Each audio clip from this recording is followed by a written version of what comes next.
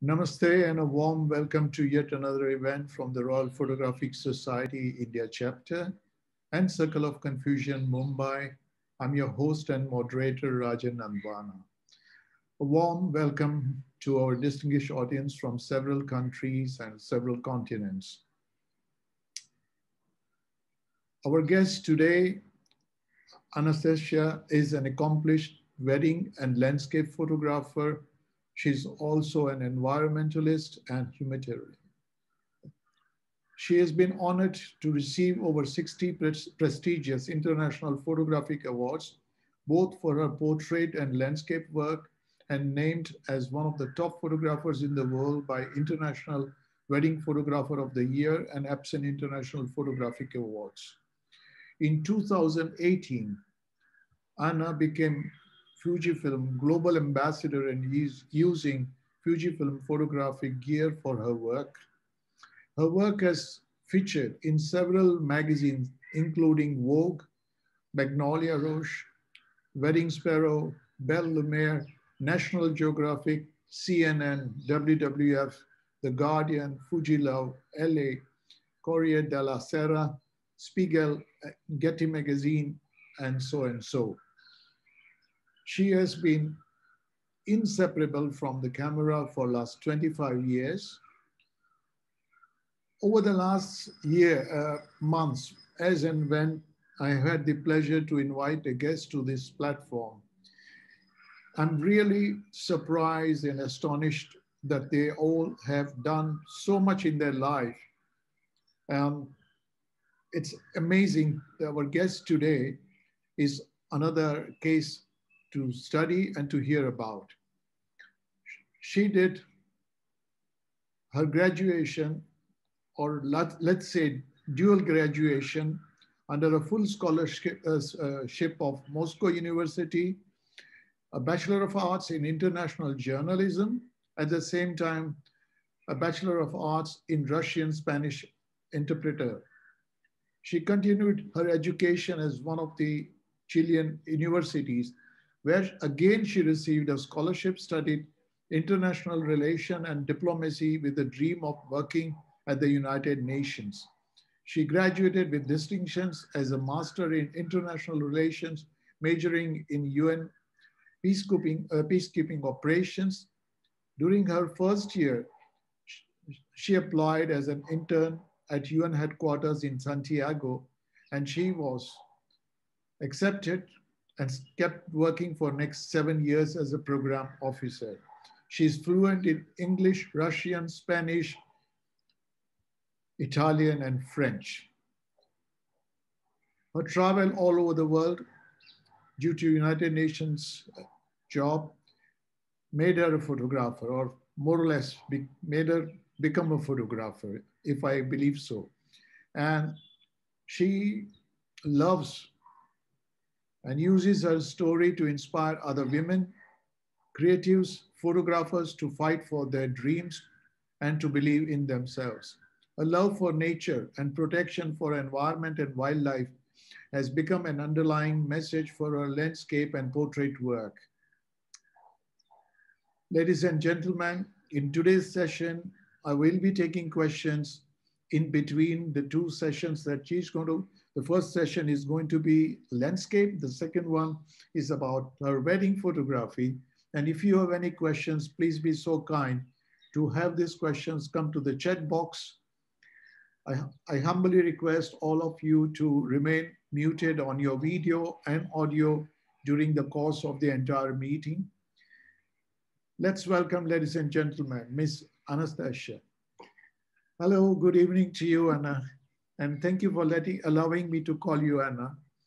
Uh, it's amazing that with a full, bright, flying career as UN diplomat, what's drawn you into photography? I mean, it's, it's unbelievable what you are doing with all the qualifications and how you have come to become a photographer. Um, yeah, I mean, if if you allow me, Rajan, I mean, first of all, thank you so much for having me today, and thanks everyone for choosing to spend um, your time with us. Um, I'm very excited to have you all uh, here.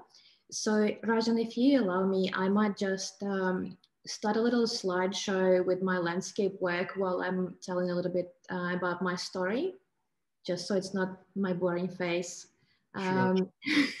on the screen, yes. if that's okay. I, I will. You have the screen sharing, so please go ahead. Yeah, so I will just give me one second.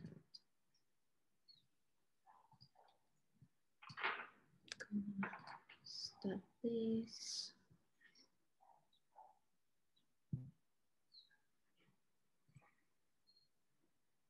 Mm.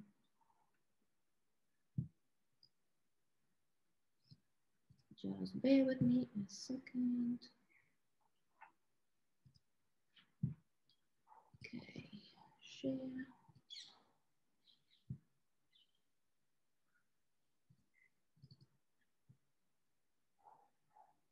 Okay, please tell me if you can see my screen, Rajan. Yes, I can. It's clear and good. Perfect. Okay. So we're just gonna let it do its thing, hopefully. Yep. So while while I'm telling a little bit about myself, you guys can can see a little bit of my landscape work, um, and then I guess we'll we'll stop at some photographs later on, and I'll I'll tell you some stories. So. Um, my passion for photography started uh, actually with my love for nature. Um, and I remember that I was about seven years old and I was always observing little things like how the light is falling, um, color shifts, you know, all these little things. And I just couldn't stop, you know, admiring how how beautiful everything was. And I just wanted to, you know, I was just feeling so much. So I just wanted to ca- capture everything um, and just like stop this moment. So in my family, nobody actually owned a, a, photo camera. Nobody knew how to use it. Nobody could teach me. So, and I actually never saw a photograph of anything apart from like some old family photos in my life. So this passion came from literally nowhere. Um, and, um, and I started asking my parents for a photo camera. Um, and you know, it, it took a couple of years. So one one day, so I was about um, 11. So my, my, my parents sent me to London to like on a, on a school exchange program. And they gave me uh, pocket money, which was 55 pounds from my memory. So pretty much the first day as we arrived, I went to a store and I spent pretty much all of it on a photo camera, which is this one. I still have it. It's a Kodak Kodak film camera. Um, I still I still hold it dear. And then since then, I, I basically started taking photos, and uh, photography became a creative outlet for me.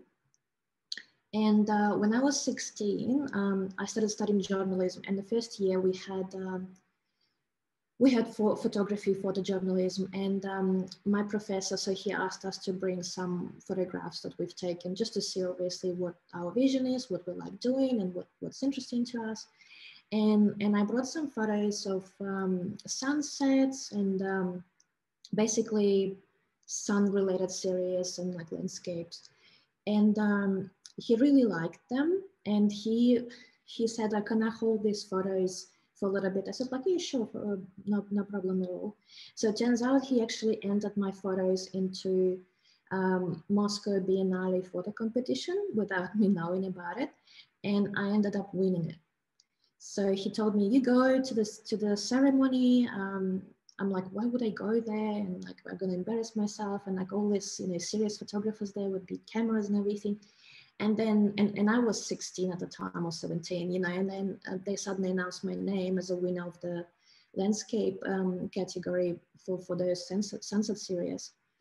And um, and i basically I, I, I like i suddenly realized that it doesn't matter if you have a fancy camera or a basic camera like like this Kodak that I have. That's why I sort of keep it because it's just a reminder that the person that is behind the camera that is important. And through my um, through my work, I I try to inspire people to believe in themselves and not to think that they need specific camera, a very expensive camera, um, or have to focus just on the technical aspect of photography to achieve certain photographs and, and to basically achieve their dreams. Um, then after uni, um, well, while I was studying, I kind of wanted to be a photojournalist. I wanted to travel.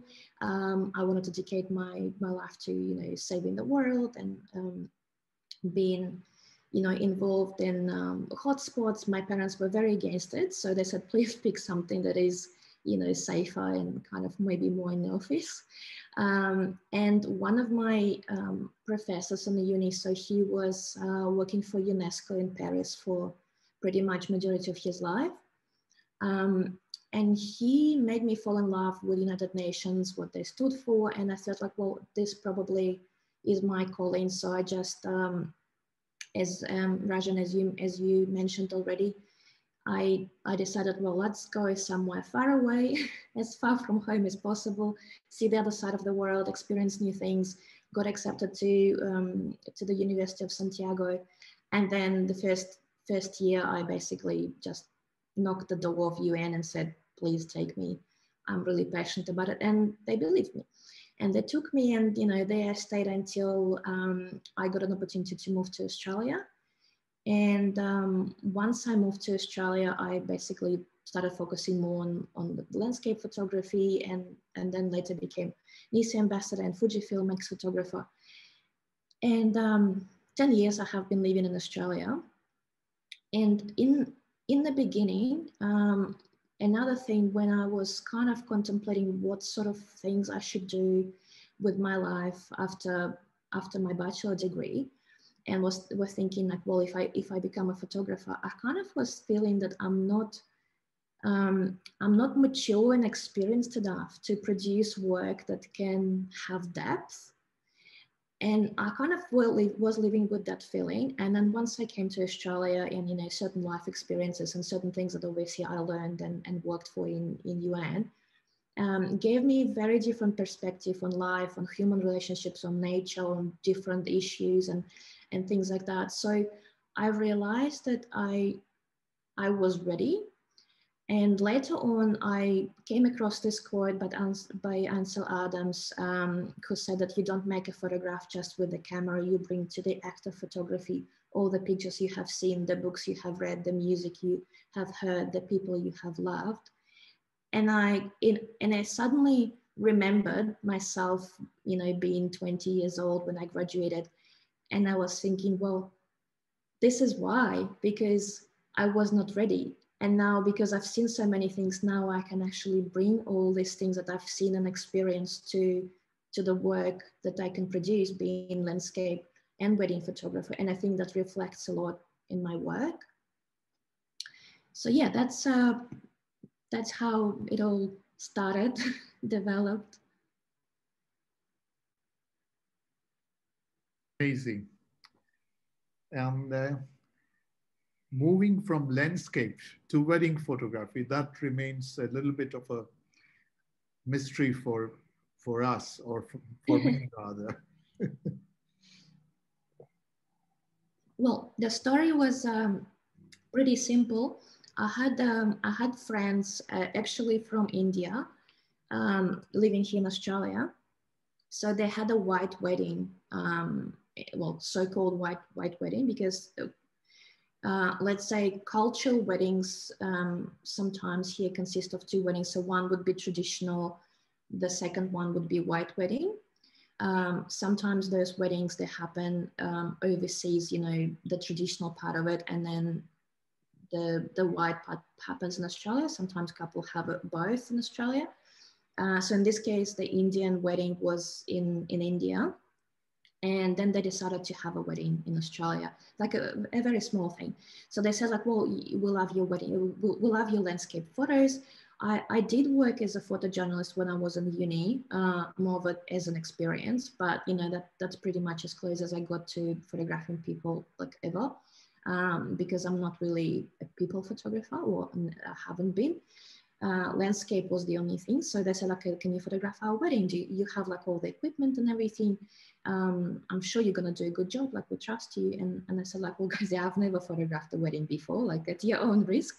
I'd love to, but you know, it, it's um, it's not something I, I, I have experience in, obviously.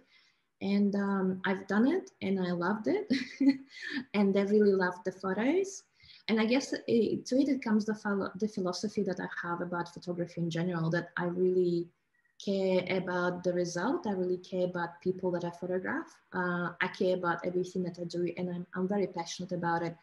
Um, and I work with a lot of integrity.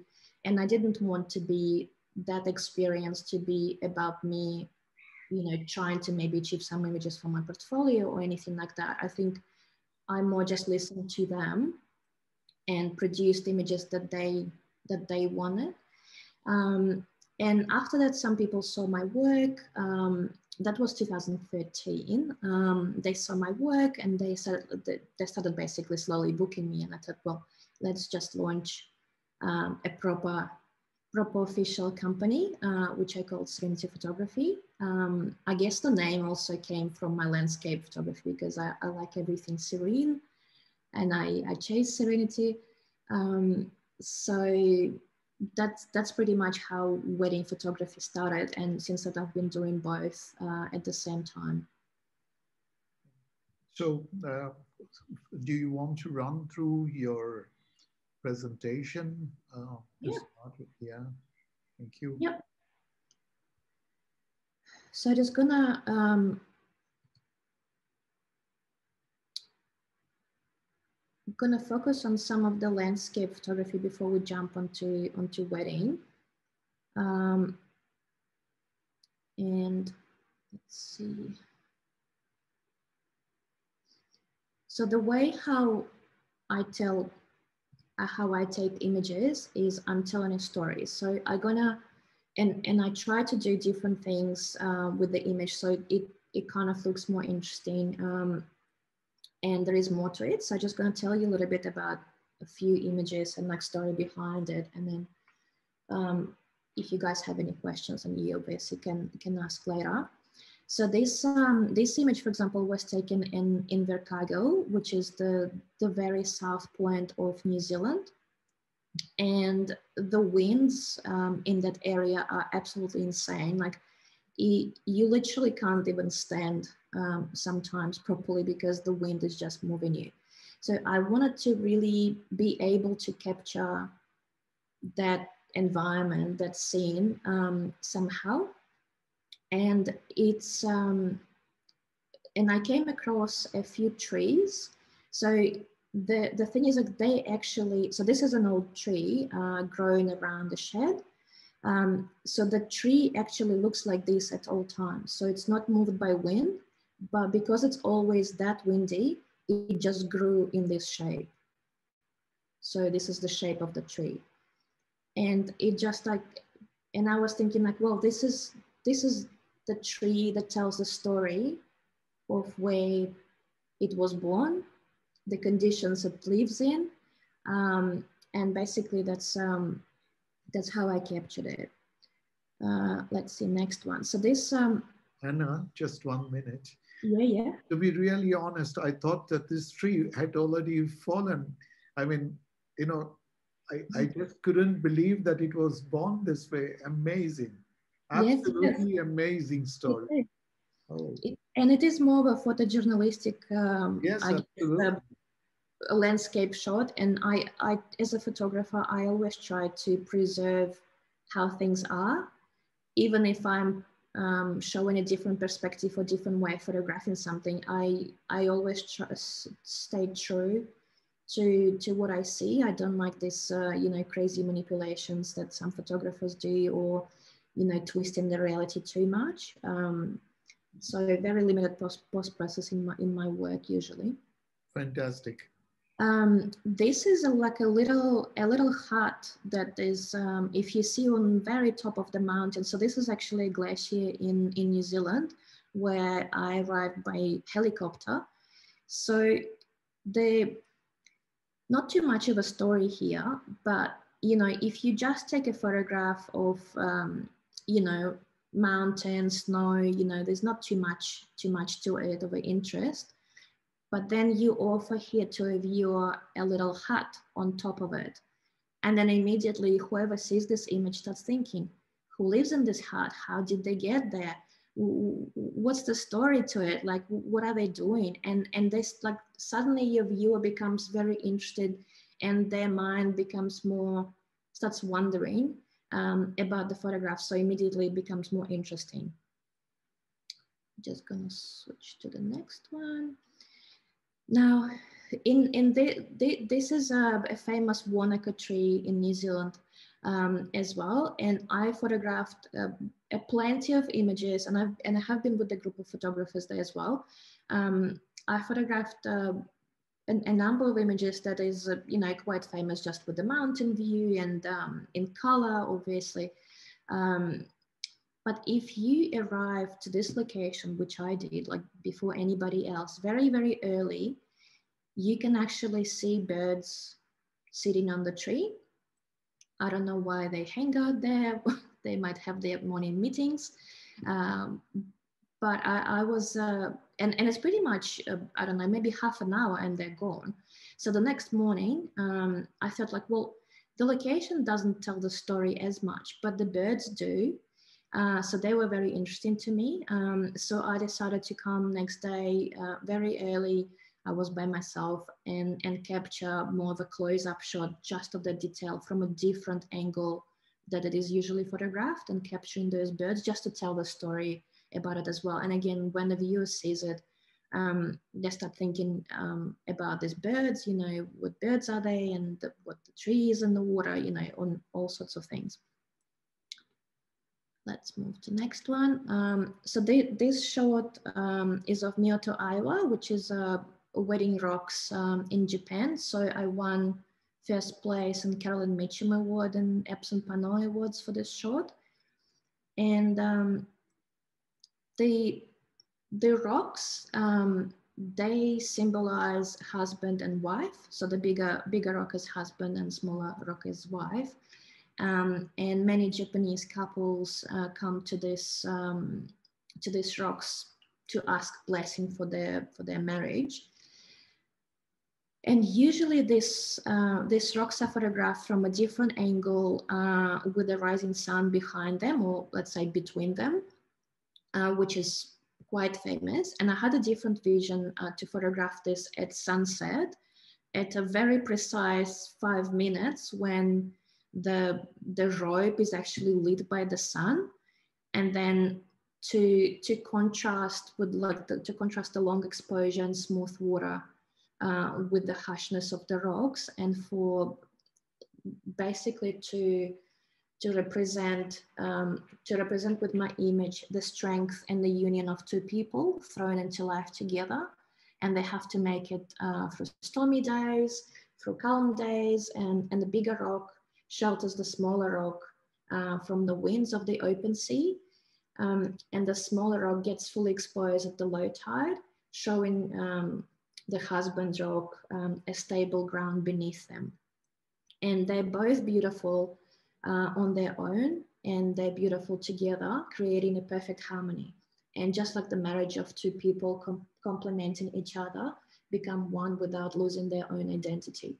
So that image, um, that image is um, is telling a story, um, not just being a pretty picture of, of a location. So that's that's really important to to bring that to photography. here's a, a picture in, in, in Patagonia.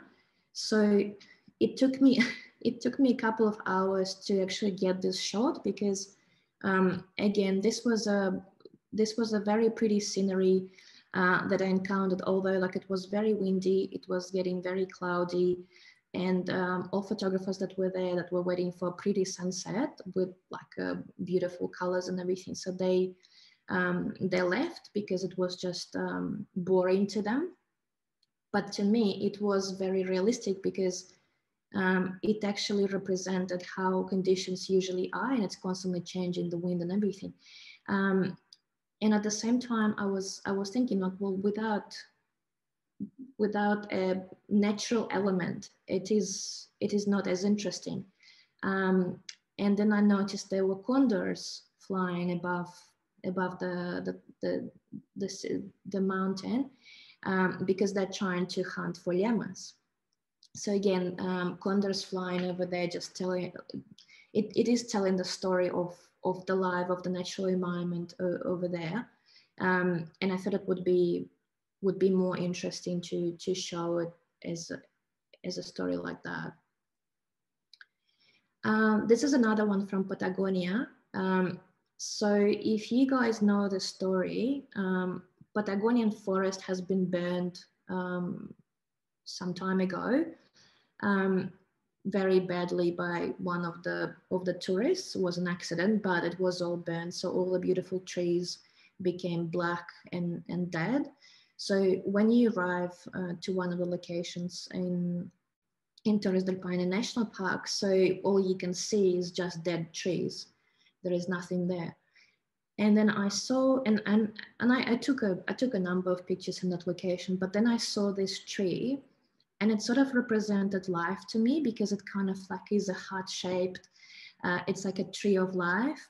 So I thought, well, if I I thought that this this location obviously it had hope, uh, you know, because things starting to you know come back to life over there. As you can see, there's a grass that is uh, green now before it was black. So that that element of um, of this tree in, in, in the heart shape basically um, made made the story to me more more true to to the to, to my hopes, I guess, about the future of this location.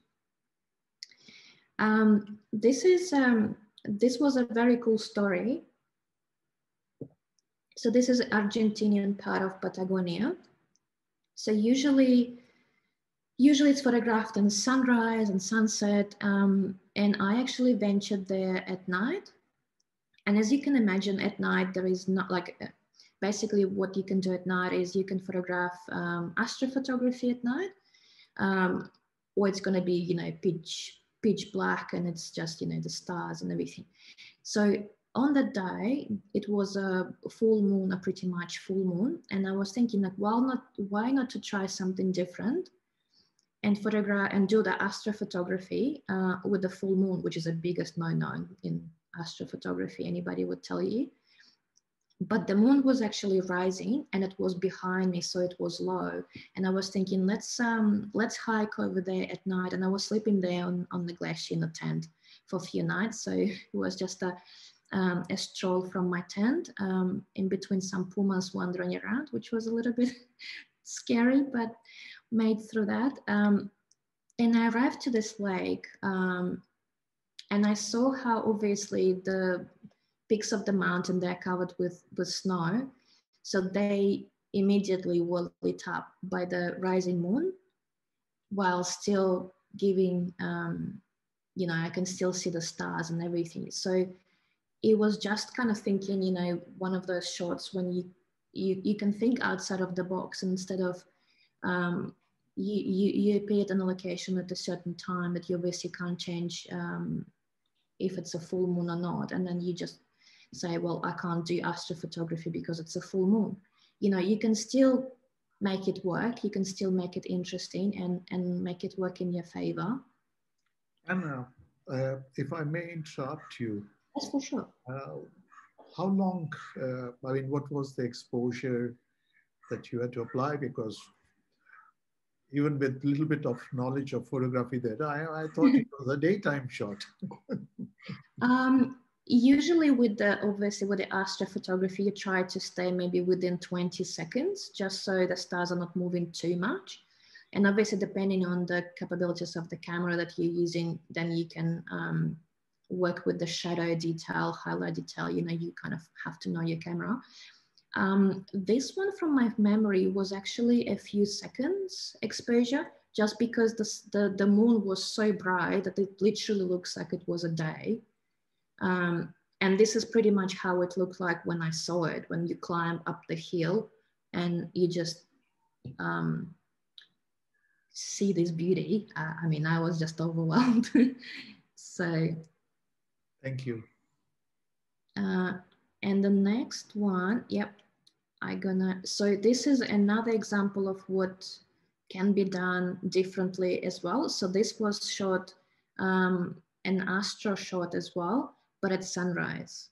So obviously you can't photograph at sunrise, but this was just before the sunrise. But because the mountains are so high, before you see the sun and before the sun hits the ground, it hits the tops of the mountain, obviously creating this um, different scenery, um, you know, with the, with the color and, and the whole vibrance of it, while you still have stars, as you can see, um, they're visible in the background. So this was 30 seconds, if you, if you must know, Rajan. Thank you. Um, wow. This was this was a very um, this was a very cool adventure. This is south of Australia. This this is called a Camel Rock, and um, basically what I wanted to do, I wanted to photograph. Um, I wanted to do an astro, take an astro shot. So when you photograph astro, it's obviously um, you know it has to be interesting whatever you're doing there um, with your foreground because you know on its own um, just the milky way the sky you know it's not not quite interesting so i decided to experiment with uh, first of all with my location with composition and, and, and position of where i ventured uh, what to have on the foreground and also i've been doing light painting with my torch so i've done quite a bit of experimenting of um, basically lighting up the rock, the camel rock, which is actually fair bit away. Um, and then illuminating the, the foreground as well, because when the water comes to, to these rocks that you can see in the foreground, it splashes and obviously water um, reflects the light. It not it doesn't subtract light like the rocks do. So it will create you know more interesting um, contrast in color and obviously make the shot interesting. And I spent hours there. Um, cold, it was very cold over there. Like as, as, as usually, you know, photographs can't be achieved um, you know, just hopping off a tourist bus in a, you know, comfortable location and a lookout and there you go. You know, it's always some sort of sacrifice that has to happen. Um, and um, and then to my um, to my surprise as I was taking the shot. So you see on the blue, uh, a blue glow on the right hand side. So that's actually bioluminescence. So I've never, I've never seen bioluminescence in my life. And when I was, uh, when I was taking the shot and I was like illuminating the, the water in the front, I saw like little sparkles kind of basically spark, sparkling just for a second and then fading away. And I was like, what is it like? It looks very weird. And then I realized that's actually bioluminescence. So close to me because of the rocks, you can't see it. But then far away, there was like more, a bigger concentration of them. So this whole shot came together um, nicely, I think, and, and I'm quite proud of it. Just not just being an astro shot, but having so many elements of nature again, you know, location and just um, make make the viewer wonder of different different aspects of it and, and thinking what's going on here. And uh, that's probably what you want from your viewer to, to, to happen. You want them to to stay with your photograph and, and think about it rather than just flip to next. Anna, this is an absolutely stunning shot, absolutely stunning. Thank you. Um, I'm inclined to ask you some questions if you don't mind. Yeah, Is this a single shot or it's a composite shot or uh, you you mentioned about painting with the light. So how long uh, was the exposure and what kind of light would you need because the rocks may be in too far away distance and is it enough to light it up or ISO and so on. So if you can enlighten uh, in the minimum way uh, what you did, uh, it, it surely will educate uh, the participants here because it's absolutely, you know, the most difficult thing that I, I find in photography is to bring some details in shadows rather than anywhere else. And you've done that job absolutely fantastically. Thank you, Rajan. So drum roll, this is a single shot. Wow. because this is what I do. Um, and um, I don't, like I mentioned before, I don't really like manipulation um, with the photographs. And um, it took me a couple of hours to experiment with this shot to make it right. And I guess this is one of those things that you just have to do as a photographer because um, so the exposure was uh, probably about 1000 ISO. Um, the, the exposure time was probably 20 seconds. Um, I don't I don't have the EXIF data in front of me, but that's just from from my memory. Just as you would normally take your astro astro shot um, as a long exposure, but then um, and and the light. So the the only light that I'm using is is basically a head torch um, that I usually hike with. That any photographer, any landscape photographer should obviously have in their kit. And uh, because you're doing, um, say, 20 second exposure, and the way how I was, um, how I said earlier that dark rock obviously is not going to be as reflective to the light as the water would be because the water becomes white as you can see. So basically you need to, to find a balance between illuminating the back background, which is the, the camel rock here and the foreground. But because um, obviously I had one light, and if you if you're not careful, you're basically overexposing your foreground or you're underexposing your background. So it's it's all about fi finding that balance. And because I had 20 seconds to play with, so I basically shined the light first during those 20 second exposure, I shined the light on the on the further away rock, on the camel rock, made sure that it was long enough there, so probably 10 seconds or maybe a little bit more. And then just just before um, it was end of 20 seconds, um, so I would say maybe three second maximum. Um, I just painted basically it's like you're doing with your brush with the slide slowly from side to side on your foreground. So you um, and and and that sort of made, made this made this possible if that makes sense. Masterpiece. Absolute masterpiece.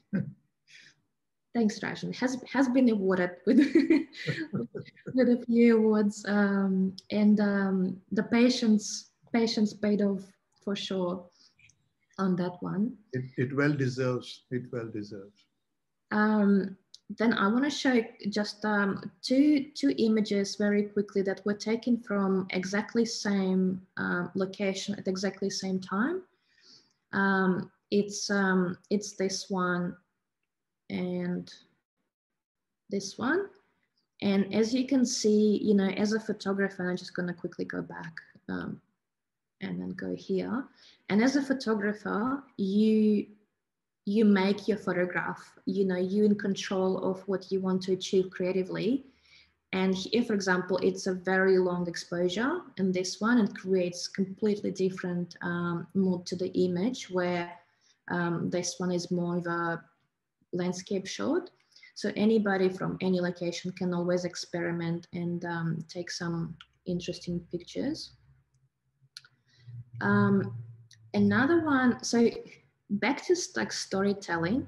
So I've taken the shot on a, I, I actually wanted to photograph, um, and that's, uh, we're gonna get in a, in a topic of um, how to not to give up as a landscape photographer because it can be frustrating because obviously nature is not something you can control and you just have to work with uh, whatever comes your way. And um, I took this shot um, on a lake here in, in, in Queensland while expecting a very nice sunrise. Um, sunrise did happen. However, it was so foggy, uh, nothing, nothing could be seen. And uh, some photographers that were um, you know that that came to that location they basically just you know packed and left because usually that's what people do um, and i usually try to experiment a little bit more stay at the location see maybe there is something more interesting that can be can be achieved and um, this is basically how how it happened however as as human beings we read information from left to right so what I did was flip flicking this picture from left to right. That was my only manipulation, but that, that also also had some awards um, a couple of years ago. And that and and there's little things um, on the water. There's actually also little ducks. Um, they were just slowly floating in in the fog, and that immediately you know tells you the story of the location with the fog and obviously the bird flying from left to right instead of right to left immediately changes the whole dynamic of how you perceive the image.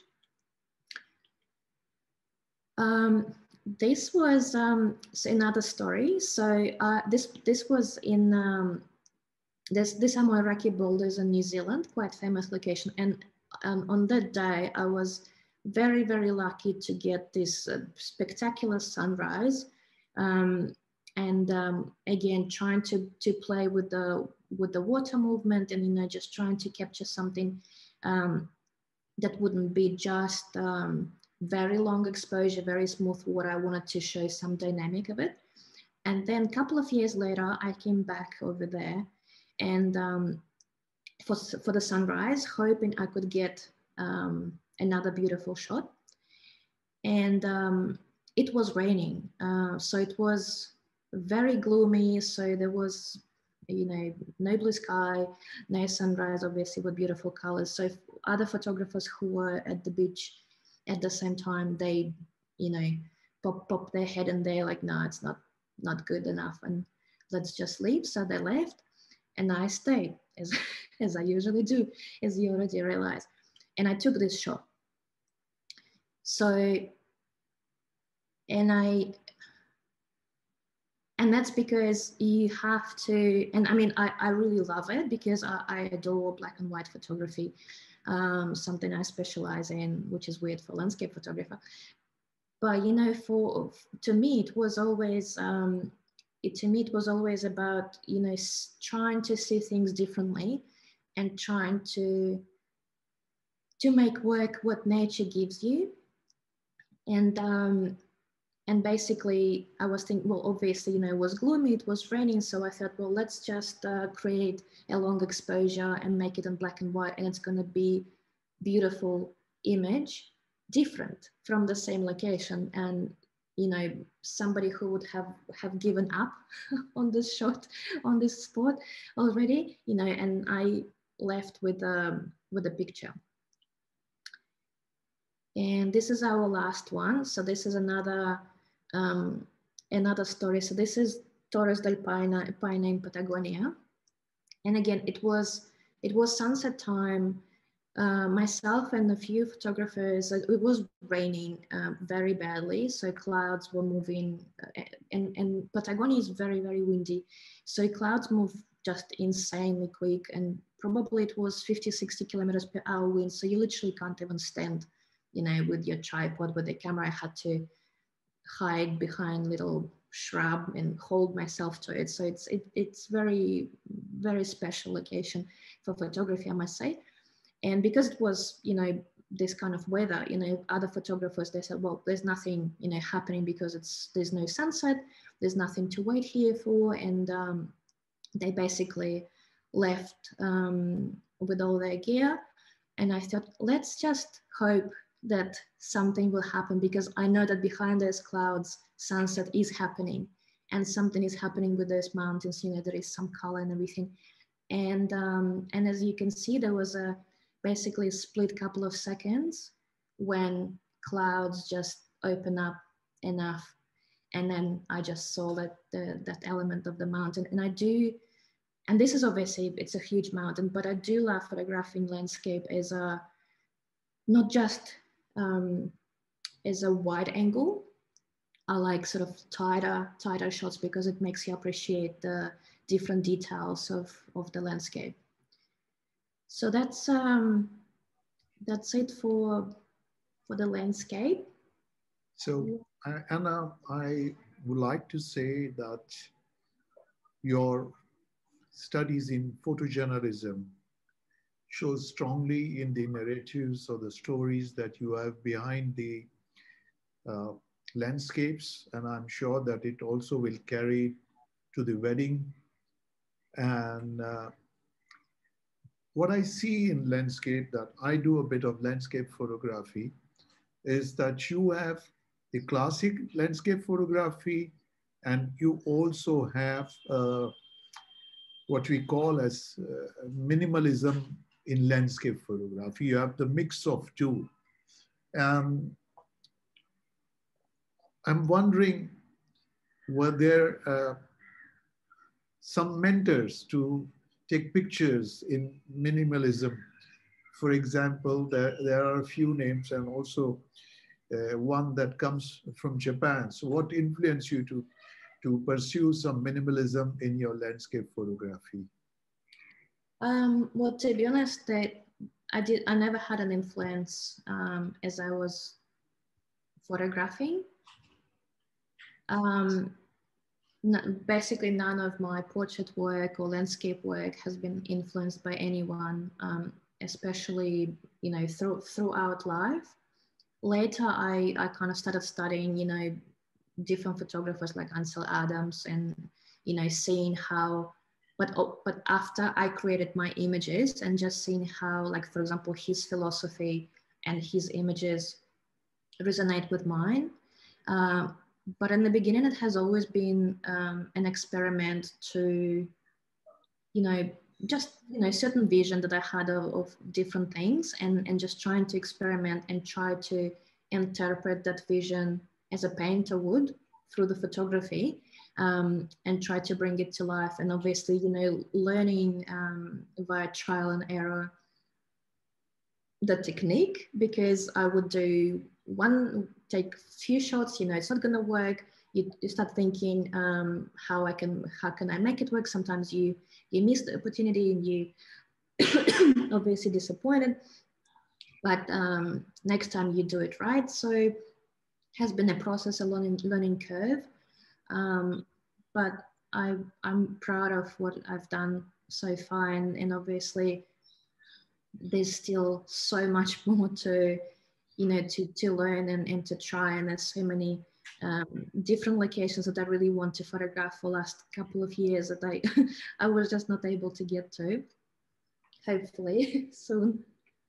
Um, I mean, is this uh, you have been on uh, Fujifilm 100 megapixel 100 uh, since a couple of years now. Um, is this uh, part of that or is it before that? There's a question um, uh, before the Fujifilm, which gear were you using and if these pictures are coming from that gear? Um, so majority, so I have been using Pentax 645Z. So first of all, I'm using medium format. Um, the reason being, in the beginning, I was using Canon, um, and I do know that I mean, and I honestly, there are so many images that I've taken with my Canon that I absolutely love, but because of the limitation of the gear, now obviously I, I can see those technical flaws that, um, and those were obviously different type of cam, like older Canon cameras that I um I sort of compare with with those images and, I, and I'm thinking like, well, I wish I had this gear at the time. So I switched, uh, um, I think maybe six, seven years ago, I switched to medium format because I enjoy how images come up, uh, the technical aspect of a dynamic range, just like what you can do with the camera as a tool when you know what you're doing. Excuse me. And um, and have been shooting with Pentax. And um, and then the Fujifilm GFX came out 50S, so I switched to to, to that. And um, I think I photographed with with GFX for like a year, tagging Fujifilm on Instagram and basically trying to show them my work. And then they noticed me and made me the ambassador. So Fuji, my, my love for Fujifilm came first. Okay. So uh, there, uh, at this moment, I would like, uh, if participants have a question, uh, please put it in my chat box. Otherwise, we proceed to the uh, next part of the session, which is wedding. Uh, if you have questions, please, please feel free to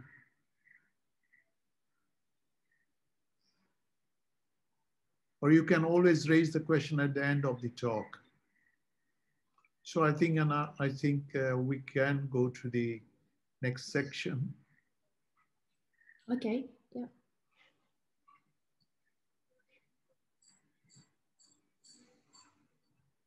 Let's see if it's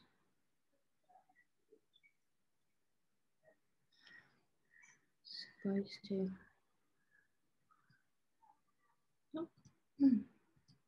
I will pause it here. So um, one, one of the quotes that resonated with me um, was Annie Leibovitz. And I guess, I guess that, that, that comes to, um, to mind as well, because I always tried to like, um, like I said in the beginning, like I always put people first. Um, and I, and when I photograph, I basically, without kind of knowing yet about it, I, I realized that I was falling in love with every, every subject that I had.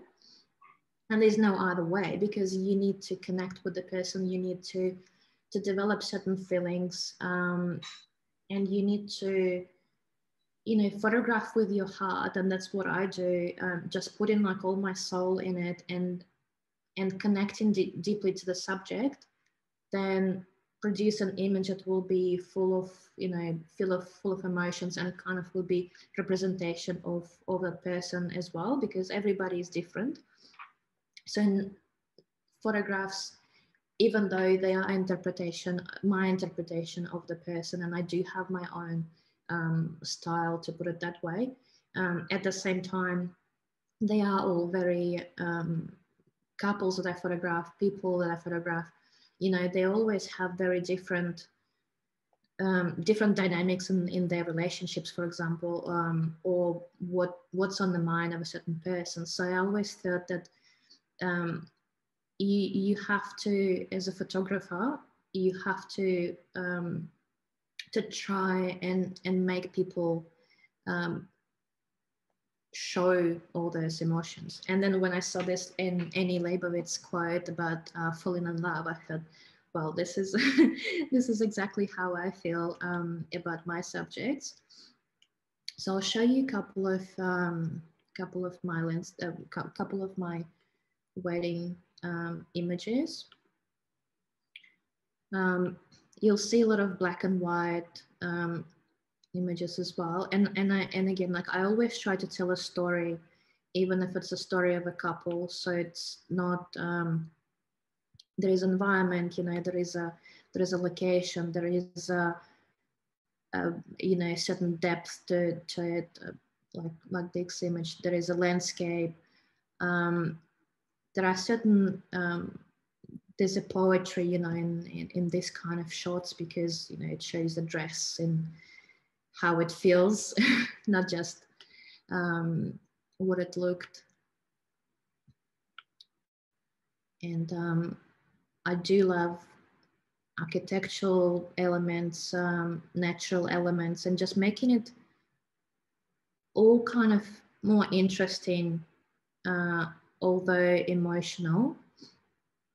And always trying to to make the short so to to plan it in in, in my head and then make it happen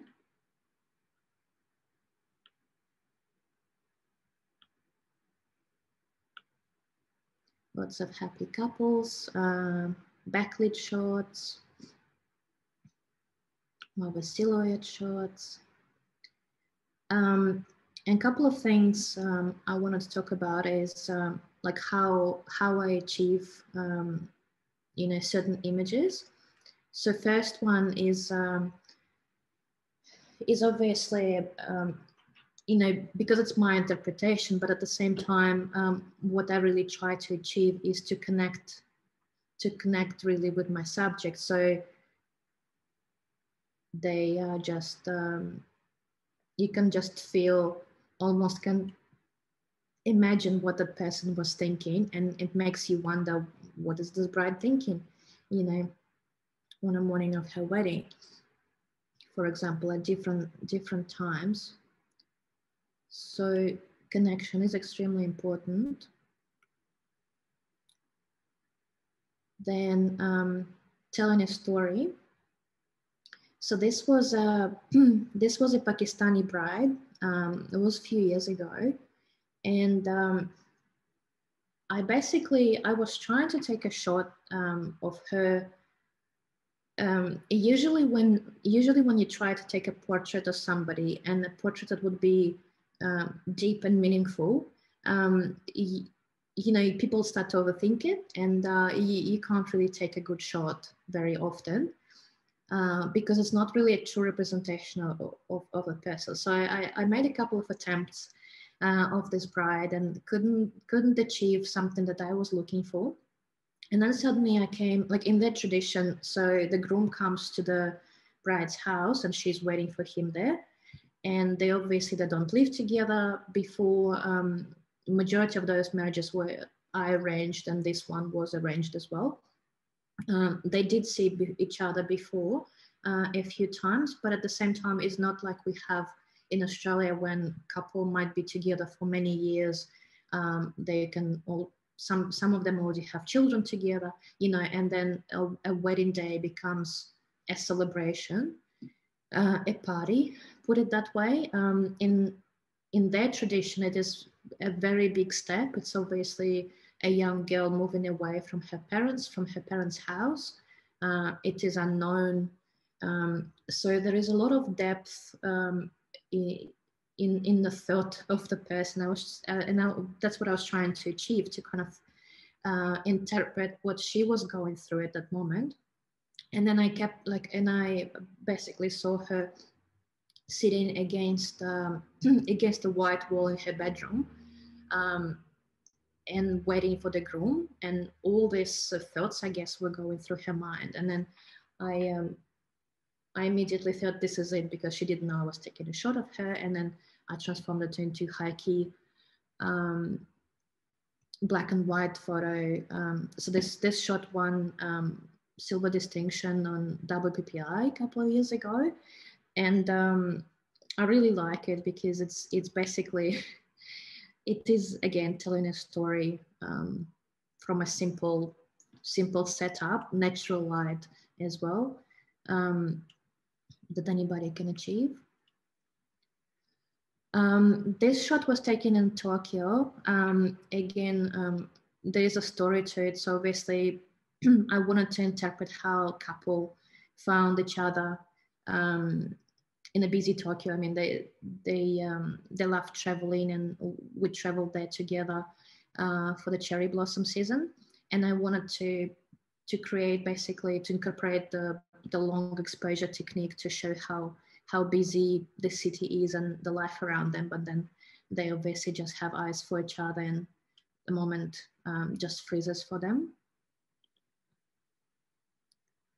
um, another shot of a bride on on the beach so um, when I first was thinking about it, like I, I, was, look, you know, you can photograph a, a, bride on the beach, you know, there's not much to it. But then when you incorporate an element like um, a photojournalistic element, like for example, a, a, a sofa in the shot that immediately gives you a sense of space, a story, um, and more depth to it.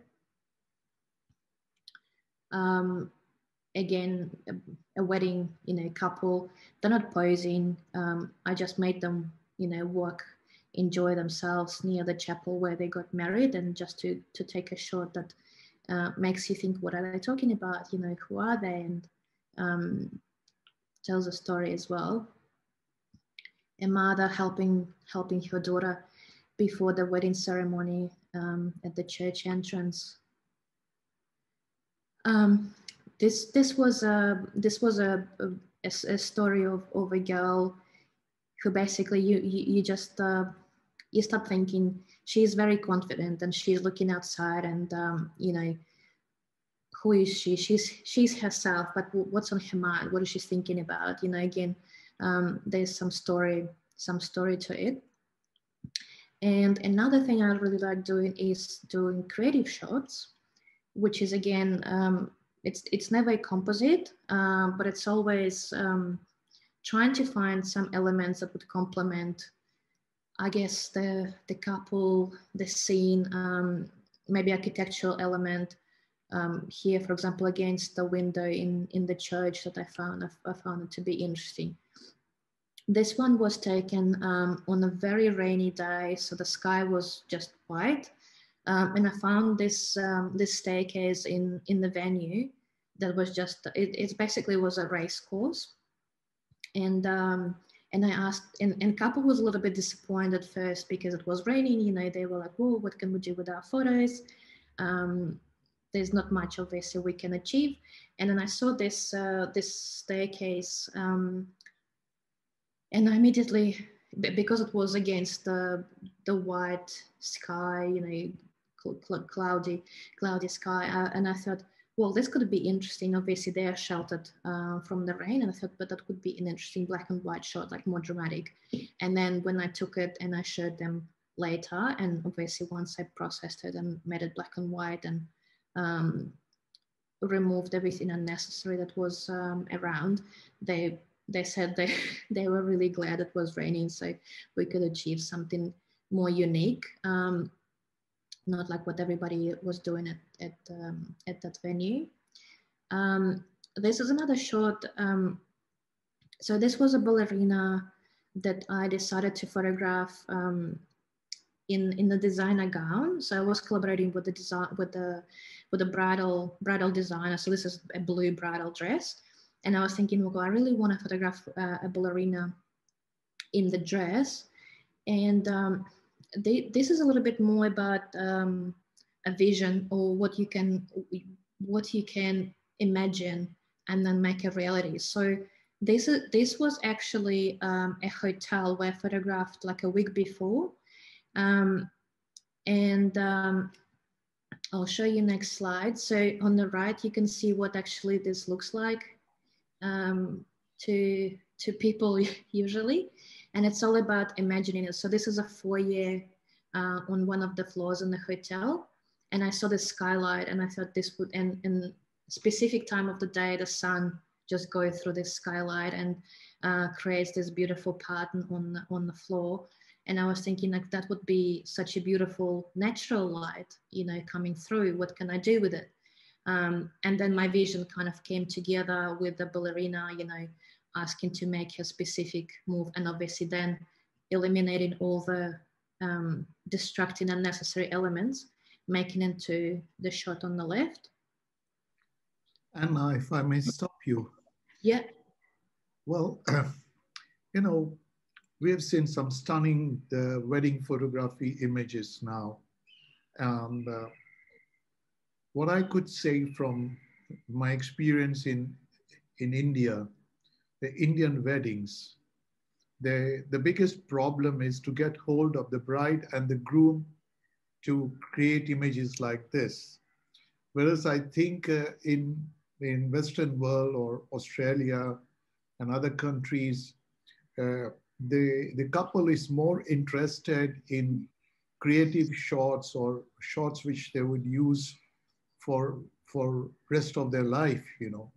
And obviously uh, these shots are taken uh, probably a couple of days before uh, and they allow you enough time um, they discuss with you. So how how does it go? Do you do that or how is it done?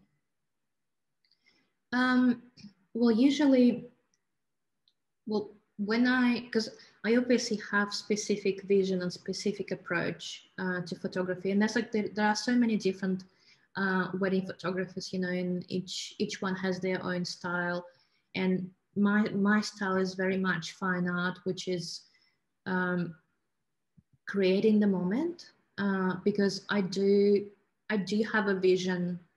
Um, once once I speak to the couple, Uh, when we have like our initial consultation before they even book me. I speak to them like about their values, what what they value in photography, what what's more important to them in their wedding day, what the location is, what what they are about, you know, and during that conversation is when I make a decision if these are the right clients for me.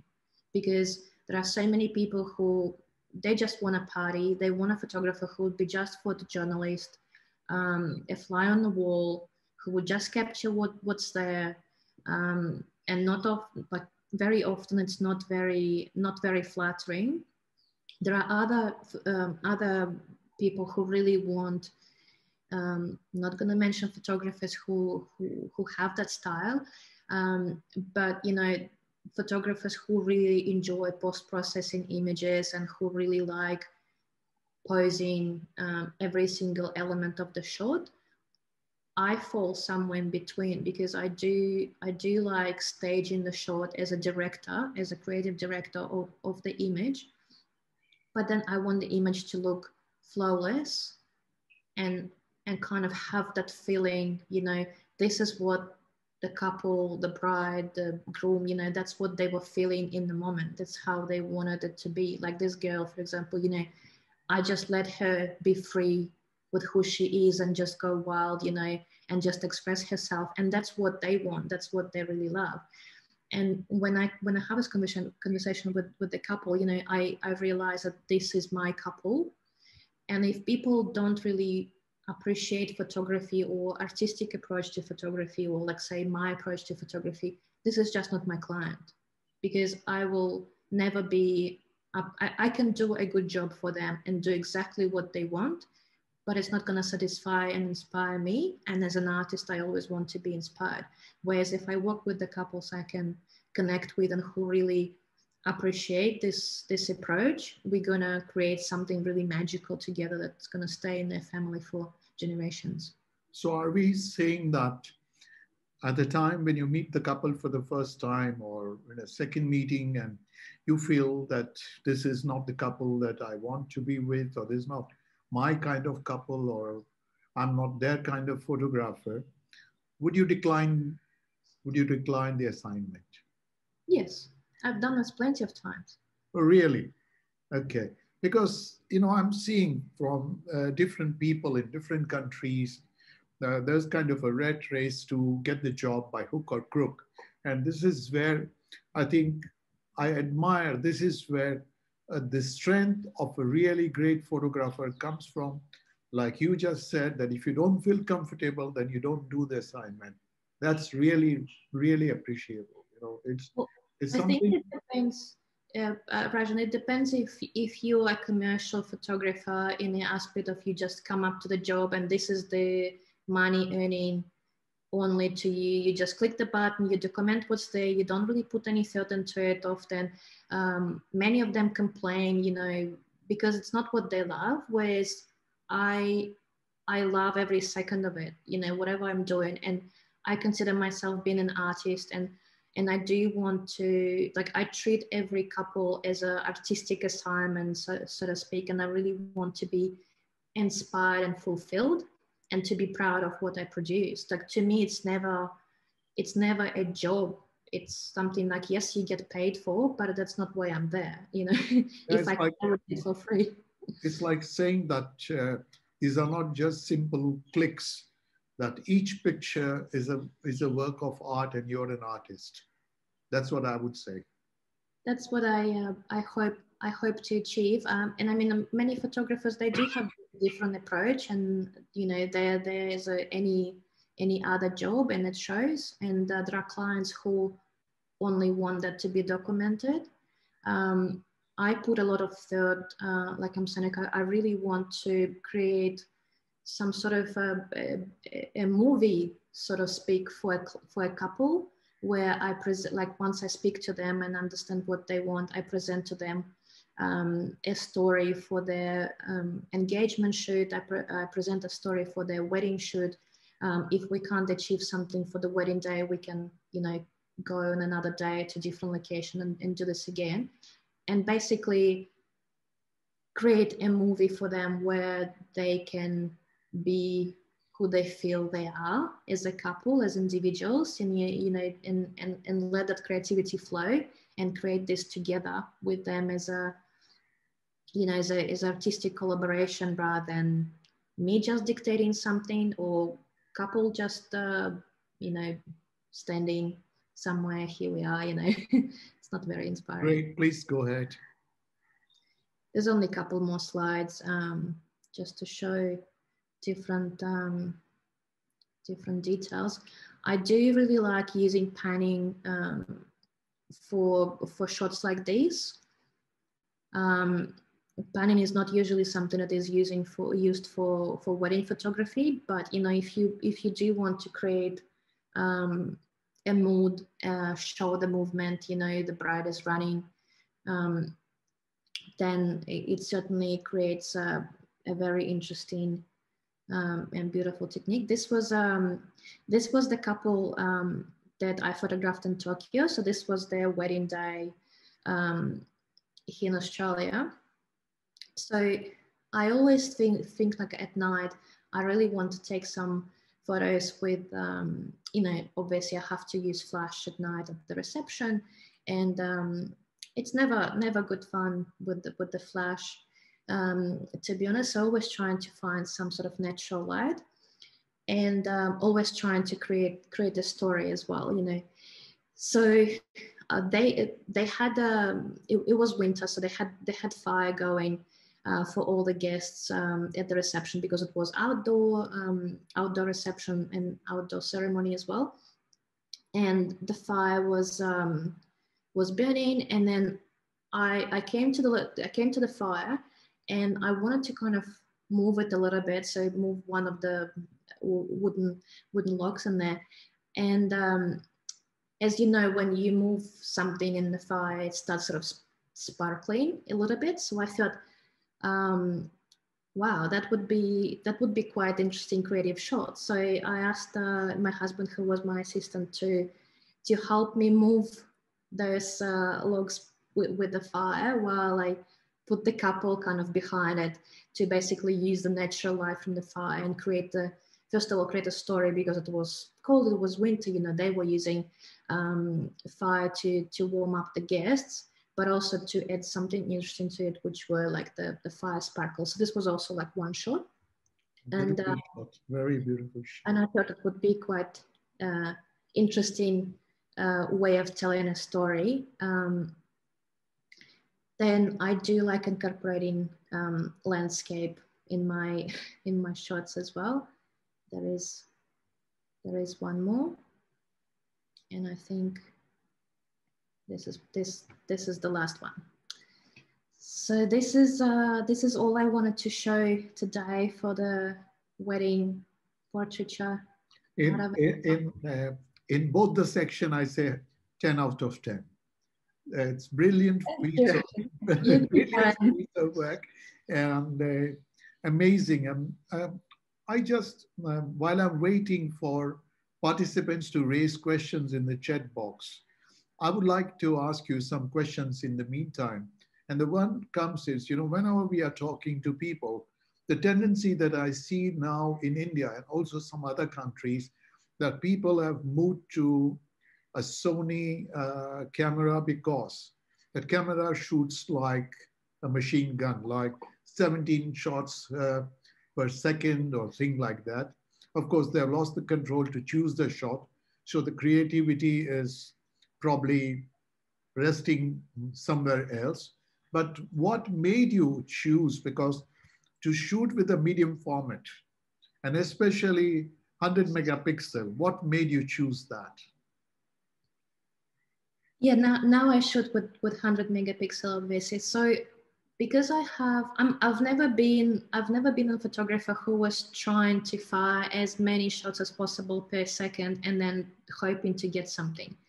I'm always about um, anticipating the moment, and I guess it comes with that connection with people, uh, with your subjects, and with knowing um, like be, obviously comes with experience because you know when certain things are happening and i i am quite good at um, feeling people reading their body language and kind of like walking walking with it. So i do like to and and I never want to be that photographer who just places their, their couples and say, every second, you know, I take a shot and I say, well, you, you put your arm here, you hug like this, you do this, and you constantly are in, in their space.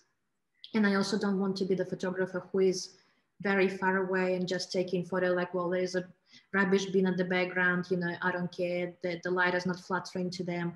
That's how it was, you know, that's not me as an artist. I want to position um, a person, a couple in a very flattering scenery, lighting, where everything works for me. And then give them suggestion on maybe uh, a couple of poses and, and, and things like that. And then let the magic unfold and let them be themselves. And that's where I can obviously capture capture beautiful. So my yeah. Sorry, sorry. Yeah. So my shot is always intentional, which means and always anticipated because I know when things will happen. So that's why I don't need that point and shoot extra fast camera to click that button and I just know because I know when the moment will happen. So I can treat it with a slower camera that I know will produce a, a better photograph and I don't need to have a, a 10,000 of them that I will hope there is a couple I can use in between. I can just have one shot that will will be perfect. And the reason why I'm using, um, so first of all, medium format, obviously, not quite often you see them used for wedding photography because they are quite difficult. Uh, and I guess it's all a matter of like the way you shoot, you know, what, what your style is, but it's also a matter of learning for the camera to be like the extension of your hand to, to feel and to understand it and to know to know your camera well so you can make it work definitely um, I, I shoot dancing with it. I shoot at night. I shoot uh, in any any types of light. And uh, one of the things that I offer to my couples is um, because I photograph landscape, obviously, you know, and, and a lot of a lot of people they choose um, choose a location for a reason. You know, it can be a destination wedding, it can be a beautiful scenery, it can be something meaningful to them. So I offer um, a landscape shot where the couple is a main hero. Um, and a lot of them, they do like printing this um, in large, like say meter and a half long prints, um, because nobody likes to print in a meter and a half long um, portraits, you know, close up portraits is going to just be too much. But if you have um, if you have a beautiful landscape shot of a location that you love, where you are standing you know with the partner and it's your with your partner and it's your wedding day it becomes something very special.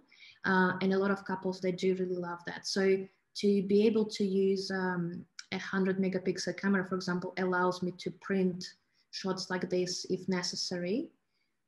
Um, and another reason is uh, because of wedding wedding day is obviously such a such a fast paced event you know it's not like always you have plenty of time to you know to photograph couple in a certain way. So sometimes i want um, a further away shot. I want a close up shot. And obviously i don't want to torture them be- between uh, like switch lenses or switch cameras you know um, do things like that. So i take one shot say with my 45 millimeter lens. That can i can later crop very flawlessly to become a, a cropped a very tight portrait. So i can make two, maybe even three shots sometimes out of one picture without a couple even knowing about it. And because each shot is 100 megapixel, you know, mm. it's going to be a beautiful resolution regardless. So that's like one of the technical advantages of using it, I suppose, in, in this kind of work. So may I just, uh, uh, if we take the screen sharing off, then I can bring you more in limelight and uh, bring you here. Yeah. Yeah. So uh, um, so the questions uh, that's also now coming up is, uh, you know, you are shooting with some fantastic lenses like 110 uh, and uh, the new 1.7, yeah, 80. Um, that being the that being the thing, I've seen your work it doesn't have the harshness of uh, that very, very crisp or, you know, let's say sharp uh, digital photography. Yeah. And at one point of time, I think I read about you, and you mentioned the technique where you're trying to interpose uh, taking pictures with such high-end cameras, and on the other hand, trying to make them look like as if they're shot with analog. So exactly. what's, the, what's the secret that that uh, you have been doing in, in, because this images surely speak of the work which is, uh, I would say, away from digital photography. It's yeah, well, I, I, think that digital is not necessarily um, flattering to people. It, they, they just, uh, digital cameras like the like Sony you mentioned, you know, they um, first of all like they oversaturate colors. So the, the color that comes out of the of the camera, uh, and many people that don't really realize that, and, and landscape photographers and wedding photographers, portrait photographers, you know, they don't realize that those colors they are not true to life. They are very like your your green grass will be like that neon neon green that is unnatural you know your blue sky will be like super contrasty and I've seen a lot of photographers, they even over process, not to mention all the filters that currently photographers are using, make the skin orange um, and um, very kind of very moody, so they so they call look, which is not not true to reality at all. Um, so when I photograph, I try to keep things real and obviously film photography, analog photography, you know, it's um, the closest thing there is. I do shoot um, with Contax uh, on film. So I used to use Fuji, Fuji 400 for, for film before it was discontinued earlier this year. Now Kodak uh, Portra. And I do bring my film camera to, you know, personal projects and to weddings and photograph quite, quite a bit with it. Um, so what digital um, what digital usually looks like is it is too contrasty the colors are too vibrant um, and i think wedding and i guess that the nature of my work as well creating something you know more poetic more romantic uh, going back to the the topic of this conversation i suppose. You know to create something that is um, a little bit more ethereal a little bit more whimsical rather than just um, you know straight, straight like a shot without any feeling to it. So um, i try to i try to reduce the digital part of of the shot. So i desaturate certain colors um, for example greens and blues. Um, I, I work mostly on the skin tones to make sure that the skin tones are the most beautiful. And I reduce um, the clarity clarity slider so it's not as sharp um, because nobody wants to see portrait you know where everything is is very visible you know. No bride would like to see that. Ask any woman. They want to be they, they still want a soft photograph and i think that's kind of one of the things why um, analog film film photography is quite popular you know still now between wedding photographers is because it makes the skin look beautiful it makes it look smooth and um, very very pleasing to the eye. Um, whereas um, digital i think is just overdoing it. It's it's very harsh. So um, I, I use the clarity clarity contrast. Um, i reduce those ones hsl sliders to to change the color um, as well of the greens and blues. I do add grain um, sometimes sometimes i do sometimes i don't. Um, obviously it depends how you photographed it. Like if you used uh, a higher iso base naturally it will have grain so adding more will simply be be any worse. And I, I guess you have to be careful as well because digital grain is not as pleasing as film grain so you need to be very subtle.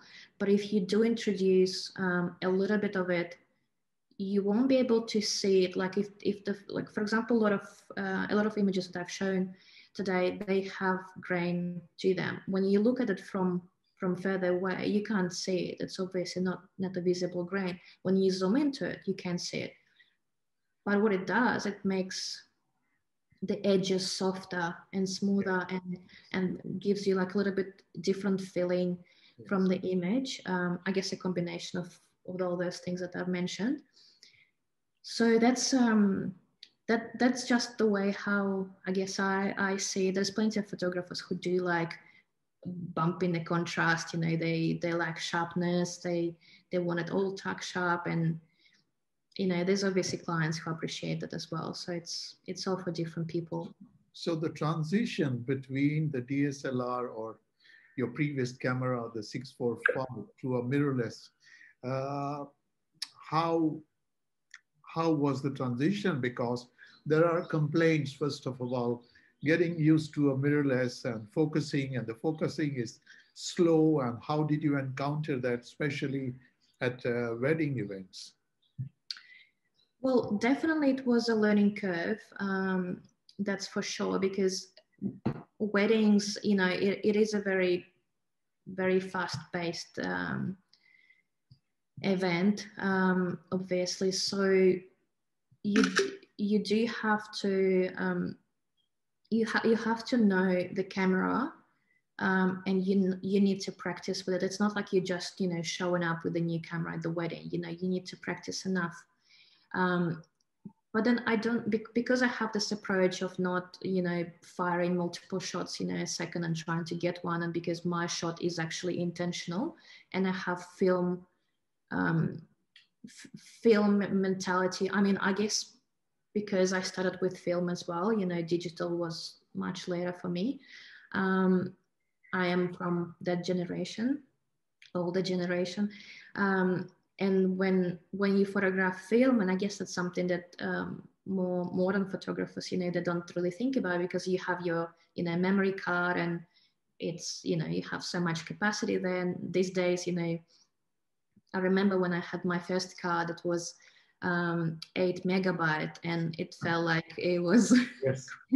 crazy um, on my first digital camera and and and now you know my cards are like five, 512 um, gigabyte and one wedding will have to go through a couple of those for sure so it's it's definitely um, you know things definitely changed but back then you know when you have a and, and even now you know for those who photograph film still you know that every single shot that you take with film counts because on Contax for example i have 16 shots you know yeah. um, it's always a hassle to obviously change the change the film roll, but I always have this mentality of, is this shot worth it?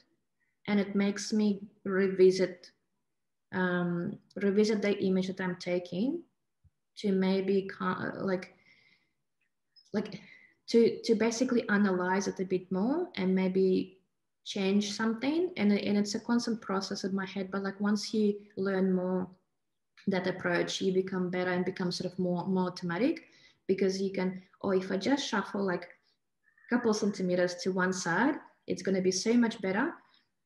And you learn that slow um, observation, I guess, of, of your surroundings, of, of your subjects, uh, and antici- learning to anticipate that moment. And then it's going to be worth pressing the button. So the same approach I have with the digital camera. Um, and that's why I'm not really worried about the focus uh, because because I'm intentional about it. And like I'm saying, it, all cameras they work perfectly um, in terms of the focus. You just need to know on what to focus. Kind of feel feel your camera and then practice with it, and, and it all will come. So no fear. how, how this story about uh, the Fujifilm Global Ambassador came about because, you know, that's a great recognition. It was definitely, um, it was definitely um, a, a big, uh, an exciting accomplishment to me because uh, basically, basically the way it happened. Um, so like I'm saying, like I, I fell in love with the GFX, and it was more modern than um, Pentax 645Z that I was using at the time. And uh, I thought, well, this is the camera for me. And and Pentax, for example, it is a great camera, but it has so many limitations in terms of color rendering. It's also bigger, but it also has uh, limitations um, in in in the color. So i couldn't really use it for for wedding work. So it was more of a just a tool to keep for the landscape photography. And then i was thinking like well i can't justify to have just one camera you know for the landscape work and then a canon kit that i had at the time for for the wedding work um, just too many too many things. And then every time i was trying to bring my pentax to the wedding uh, try to take some portraits never liked the outcome of it. And then um, GFX came out and i thought well this seems like a good round round up camera to and that was 50s to, to use for both so i tested it um, because I, I, I happen to be an ambassador for for a photography stores chain in Australia as well. So they were kind to me to to let me to, to let me test it, and I really liked it, and then purchased it. Um, yeah, so so so I started like using it, and then taking some photos that was landscape photos, wedding photos, and then as I was saying, like I I have a, on my Instagram, I was just tagging Fujifilm and like, hey, this is me. Because uh, you need to, like, you, you can't just expect that, you know, somebody will just knock your door yeah. without knowing you. You know, you kind of have to tell people that you exist, but also work hard for it. You know, it's not just like, okay, make me your ambassador. And I, I know there's so many so many photographers I came across um, here in Australia, for example, they say, well, if some if a brand wants to make me the ambassador you know they have to send me free gear. Um, they um, or they say they say something is good not because they really think that way feel that way but just because they're sponsored. I have way too much integrity to you know to be that way. So if i and, and i am sponsored by a few brands um, these days but every single one of them is something i truly believe in. And you know and so many people come to me with questions about fujifilm. And often i say well if you and they're asking like hey like i'm between choosing sony and choosing fujifilm. I never say, and, and, and anybody who's spoken ever to me will, will, will tell that, like, I never say, or to go for Fujifilm, you know, like a salesperson, just because I'm the ambassador to the brand. You know, I use it because it works for me and I can tell you about the reasons why I like it and why it works. But you make your own decision based on what you like. Because other like other reason is um, every camera has different uh, menus. It has a different ergonomics, you know, and every person is different. Obviously, we all wired differently mentally.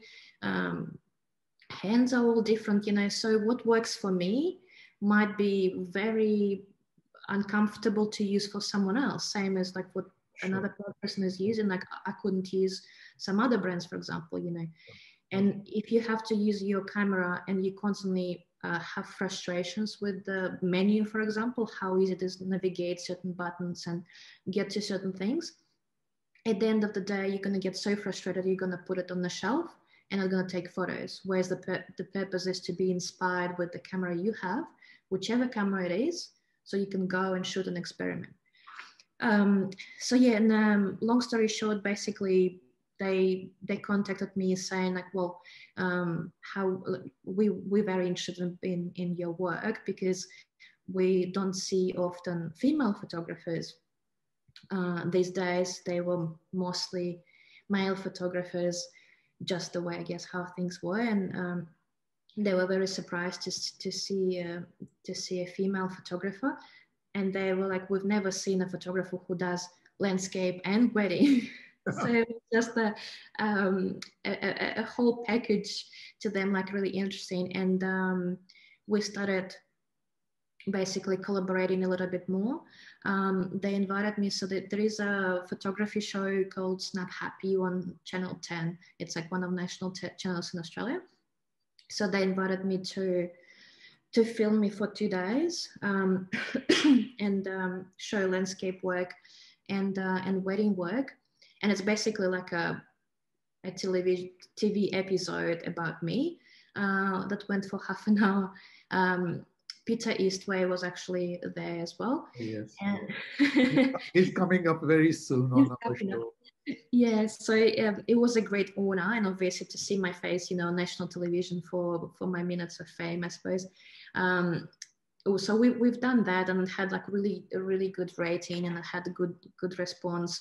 And I guess for for Fujifilm, one of the biggest things as well is what the photographer stands for, like the philosophy uh, of the photographer, the philosophy of your of your work, um, not being that person like, oh, you just give me that gear and you know, gonna tell everybody how how good it is. So it's like a lot of integrity, all those things. And then um, so we've done the show. Um, I wrote a couple of articles uh, for, for, for Peter Eastway, for example, the interview, um, a couple more things. And then after that, probably it was a year almost, maybe nine, eight, nine months um, when the head of Fujifilm Australia, so he called me and said that um, headquarters in Japan decided to to make me global ambassador. So I did my happy happy dance. wow. Yeah, wow. but it was um, it was again. I mean, it it, it was a it was incredible. Um, but at the same time, they they did kind of test test me in different aspects of uh, what I can do. So it's it's work, how I behave in different situations. And when we were filming, you know, two days of filming, we we we traveled together on location, spent night together, you know, in in accommodation. So you get to know people.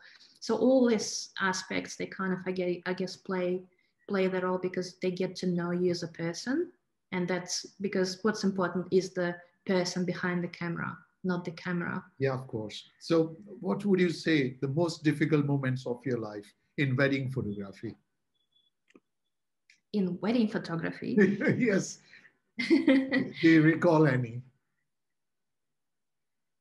There were a few. Um, and I guess that, that that all comes with the experience as well. Um, the, the hardest wedding that I photographed was of that Pakistani bride that I showed the portrait of. But that was fantastic, an amazing portrait. Thank you. It was a beautiful, you know. It, it, it was um, it was 600 people wedding, and I was the only photographer. And uh, I guess um, I guess it all came like it was quite early on in my wedding photographer career. Um, and I simply didn't know, like uh, before that, I photographed, say, Australian weddings. And usually, Australian weddings, you know, you have maybe um, uh, between 1800 20 people, I'd say. Yeah, like roughly. Um, they never, like, they always want to have, um, you know, family portraits, photos together, you know, different parts of the wedding. And it kind of um, is always the same mostly. Uh, whereas with this wedding, like, you know, it was very exciting. So we had two days, there was a henna night, there was, um, there was an engagement, there was the wedding. Um, it was uh, very, very culturally interesting to me. Uh, what I didn't know is that they would have 600 people. They had 56 tables, I think, at the reception. So I was told, hey, can you photograph every single table with guests at the wedding? I'm like, sure, no problem. Like I always do, right? In every wedding, I go through through all the tables. At the time, I didn't have assistant, which is now my husband, for example, and um, or sometimes I have a, um, a, a third photographer even helping, like when when the couple needs it.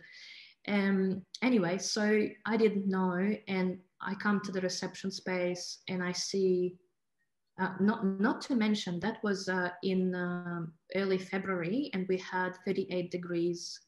Um, wow. Whereas as a photographer, first of all, you wear black, um, you, like you have to, you, you're working. Whereas like the bride, she was, um, first of all, she was covered. She was really hot. She was dehydrated. It was really hard for her. But at the same time, she's the bride. So she would be saying like, hey, I want to sit down in the shade. I want to have a, you know, water. I want to have a break that's fine. Whereas for me, I can't do that because I'm working. If I'm dead, you know, I still have to be working, and and it, that's just the way how I am as well because I'm there for for them. You know, it's not time to have a break. So we like it was a challenging day uh, physically during the day, and then I arrived to the reception and I see how many tables were there. So that was one thing. Obviously, I had to go through through all tables and take individual groups of people. So imagine 600 guests. Uh, that that adds up pretty quickly. Um, and then in their tradition, um, they like all guests line up um, to give gifts to the couple. Um, and they basically, the couple is on the stage. So I had to be standing in front of the stage with like, because I'm, I'm not as, as tall. Um, so I had to stand with my camera like up with the screen down so I could see obviously what's on, on the screen, standing like this. And then and there's an echo hey can you take photos when um, when guests are giving them gifts? Like it it, it, it was like jewelry or uh, all those things. I'm like yeah for sure. Like i just gonna stand take those photos. And then i see 600 people from two sides lining up to the stage. And i'm like what do you mean? So i was there like with my hands in the air and they had to do this twice for different type because one was giving the gift the second i don't remember what exactly the reason was um, there was some some sort of ceremony but basically all these guests went twice and i've been standing with my arms like in the air in the same position for probably two two and a half hours wow. and i remember like at the end so first of all like my my arms were so sore um, but i remember my like my hands were not even working properly because I was trying to press the button and they were just shaking, but I was just like holding it in there. So it was just physically very, very challenging. Uh, and they finished at one o'clock at the morning. So it was, was really very usual of uh, Asian weddings, very usual. Yeah. There's no, usually, there's no time limit. yeah, exactly. But when when you have uh, when you have experience with these sort of things, you obviously have you know a couple of shooters helping you i know that some of these photographers they have say main photographer working through the day uh, for the main part of the more uh, you know more important events and you have another photographer joining for the reception one yeah. will cover just the tables another will will cover for example there's guests. So he would be maybe he or she would be on maybe elevation of some sort you know with a tripod because i didn't have that and be set up so they could actually take those photos. Because it's not as difficult you know it's just a challenge of having your arms in the air for for such a long time. And um, and then the main photographer would just stay you know maybe take take some other photos. So it, now when i have a, a, meeting with a couple how many guests? What exactly do you want with this? How many you anybody going to be lining up um, for, for the for the Under questionnaire as we say. It, it, it just basically has happened just simply because i had no experience um, and i had to face this you know learn this the hard way.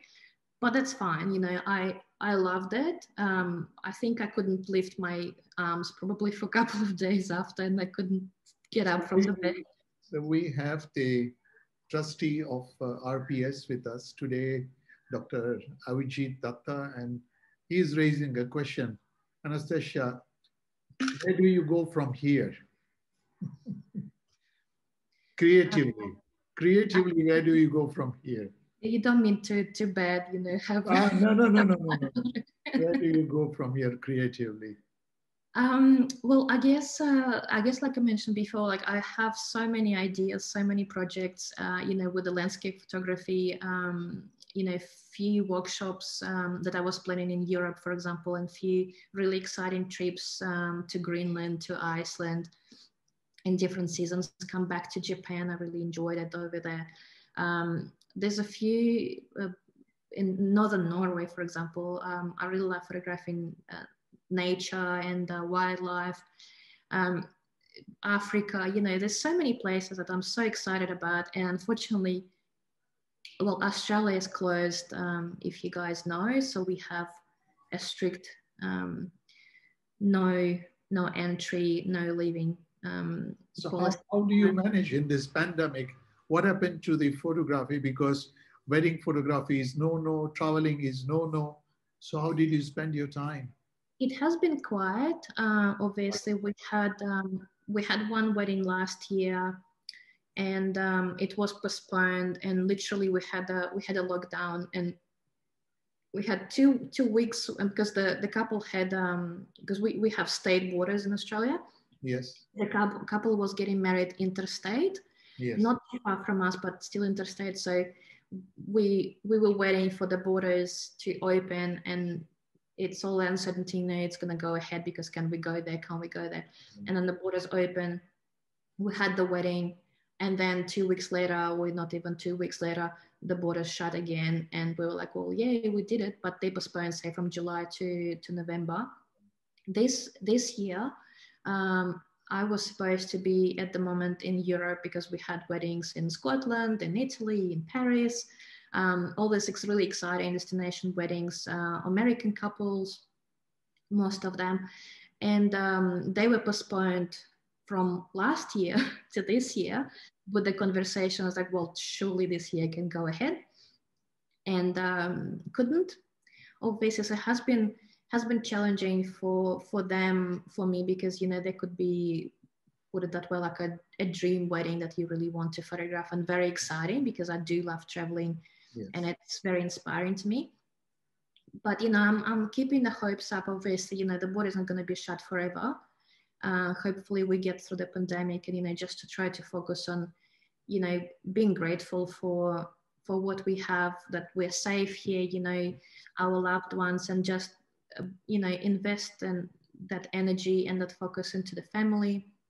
Into maybe um, rethinking certain aspects of the business um, you know like for example i've been working on redesigning my site um, website doing certain things on social media maybe um, taking the time to kind of slow down and think what do i do next um, as an artist? Like what is my style with the with the wedding photography? Because you often see um, you, you, you get so caught up sometimes in the commercial part of it because you get booked and then it's just like non-stop non-stop. And some like in the past i've been taking maybe 40 weddings um, a year whereas now i only take about 15 um, maybe 20 if they ask too much but i say no to a lot of people um, going back to previous conversation. And it's it's it's very much um, it comes from that philosophy of, uh, of the photographer, of the artist. So it's a good time, it has been a good time last year and this year to basically, you know, pause for a little bit and think, who is my ideal client? Who are those people I really want to spend? Because we ha- like we only have one life, and I'm putting so much energy and, and effort into every wedding. I want to I want to enjoy it as well myself.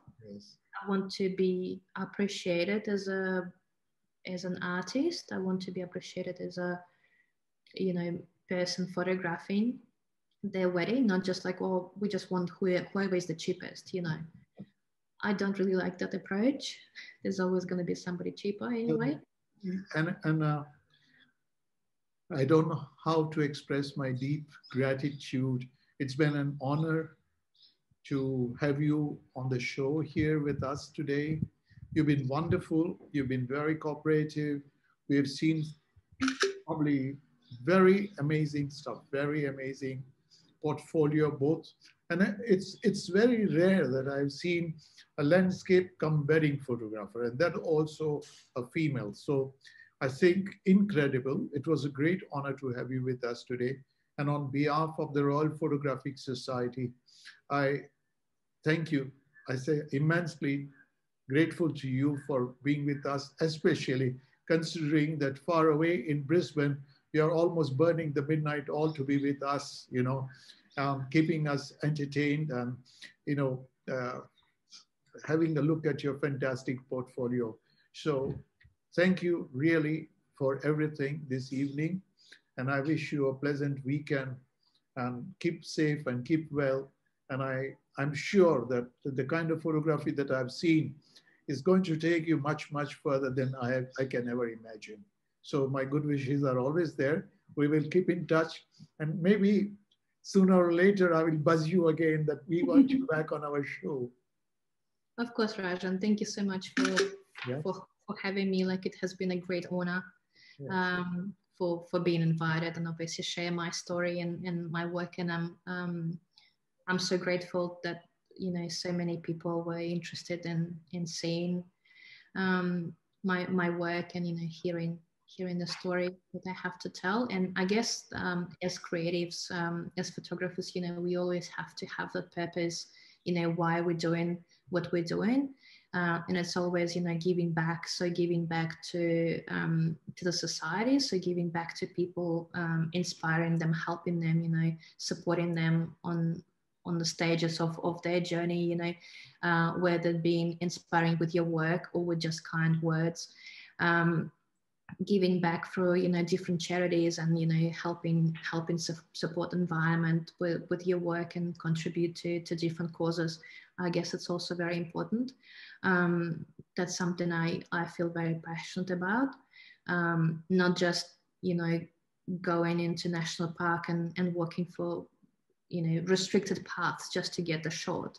I i don't want to do the wrong thing and i know that many photographers do that and then they post it on social media then tourists come and like oh where did they take this from? And then they venture in some locations that uh, should not be ventured to like that uh, environment um, for wildlife um, for the, the, the, biodiversity you know so it has a we we have a lot of impact on everything we do and we have to to have a lot of um, you know integrity about everything we're doing and everything like not just oh i just want to take this shot you know or even the way how you treat um, your subject like the couple for example you know i just want to take this photo for my portfolio there's still real people in front of you and they have places to be you know they might be uncomfortable with certain things that you're saying sometimes they just you know people just photographers push for certain um, creative vision uh, putting couples in danger without sort of thinking through